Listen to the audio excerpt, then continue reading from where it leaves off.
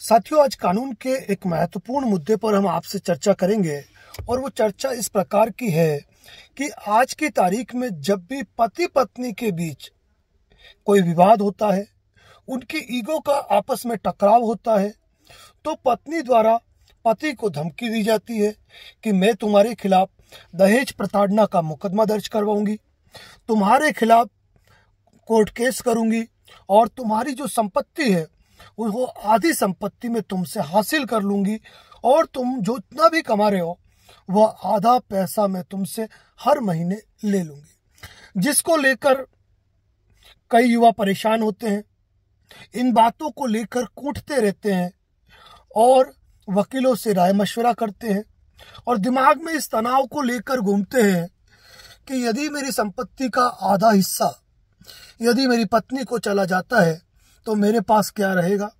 मैं अपने माता पिता को क्या जवाब दूँगा? और अपना भविष्य कैसे निकालूँगा? आज इसी मुद्दे पर हम आपसे विस्तृत चर्चा कर रहे हैं। सबसे पहले मैं आपको यह बताना चाहता हूँ कि क्या एक पत्नी का पति की संपत्ति में कोई अधिकार है? और यदि अधिकार है तो वह अधिकार कब है?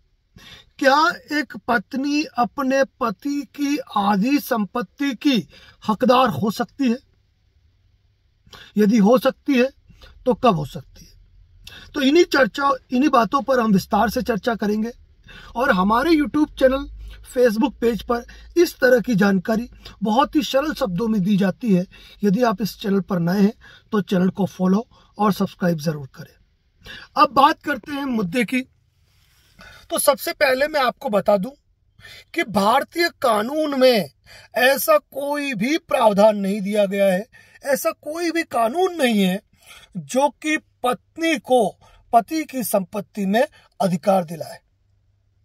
यदि पति के पास खुद की कमाई हुई प्रॉपर्टी है, या फिर अपने बाप दादों से पैतृक संपत्ति प्राप्त हुई है तो ऐसी स्थिति में पत्नी का, पति की संपत्ति पर कोई हक नहीं है।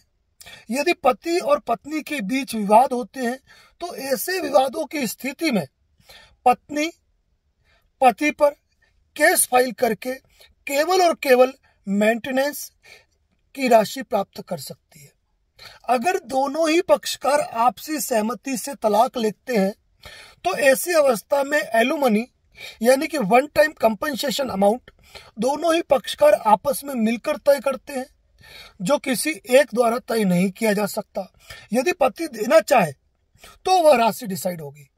उसके लिए उसको प्रतिबंधित नहीं किया जा सकता है। अब बात यह है कि इस बात से तो आप समझ गए होंगे कि पति की संपत्ति में पत्नी का कोई अधिकार नहीं है।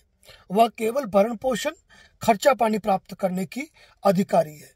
और वह भी उन दोनों के बीच में आपसी सहमति से तय हो जाता है।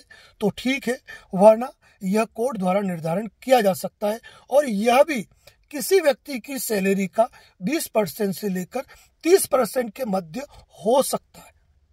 अब बात आते हैं, बात आती है कि मान लीजिए कि पति की बिना वसीयत किए अगर मृत्यु हो जाती है, बिना वसीयत किए तो ऐसी अवस्था में भी पत्नी उस संपत्ति की पूर्ण स्वामी नहीं है।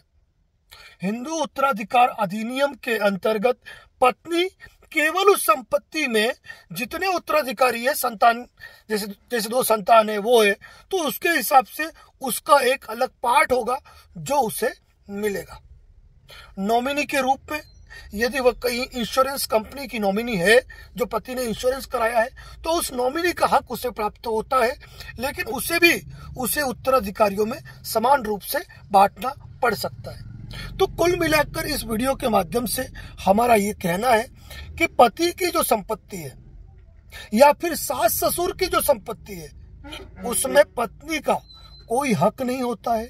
वह केवल अपने कंपनसेशन या क्षतिपूर्ति या फिर वह भरण पोषण की राशि की मांग कर सकती है, जो कोर्ट द्वारा उसे दिलाया जा सकता है। अब बात यह है कि पति या पत्नी के मध्य किसी संपत्ति को क्रय किया गया है और संपत्ति का जो टाइटल है, वह दोनों के नाम पर ही है। तो और उसमें पैसा दोनों के द्वारा लगाया गया है तो ऐसी अवस्था में उस संपत्ति के संदर्भ में दोनों को मिलकर निर्णय करना है कि उसको विक्रय करके राशि प्राप्त करनी है या कैसे बंटवारा करना है। यदि संपत्ति पत्नी के नाम पे खरीदी गई है और पैसा यदि पति द्वारा लगाया गया है तो इस अवस्था में कानून का सहारा लेना पड़ेगा क्योंकि टाइटल में यदि पत्नी का नाम आ रहा है। दूसरी बात ये रही कि पति क्या पति पत, पत्नी क्या पति की संपत्ति में हिस्सा प्राप्त करने के लिए कानूनी दावा कर सकती है? जी बिल्कुल नहीं कर सकती है। एक पति पत्नी अपने पति के खिलाफ दहेज प्रताड़ना का मुकदमा घरेलू हिंसा का मुकदमा डाइवोर्स का मुकदमा, भरण पोषण का मुकदमा फ़ाइल कर सकती है। वहीं पर एक पति अपनी पत्नी के विरुद्ध मैक्सिमम सेक्शन नाइन यानी दाम्पत्य अधिकारों की पुनर्स्थापना का डाइवोर्स का केस फ़ाइल कर सकता है। तो इस वीडियो के माध्यम से संपूर्ण जानकारी हमने आपको सरल भाषा में देने की कोशिश की है। यदि इस चैनल पर नए हैं तो चैनल को सब्सक्राइब ज़रूर कीजिए। इसी प्रकार के अपडेट हमारे इसी यूट्यूब चैनल और फेसबुक पेज पर दिए जाते रहते हैं।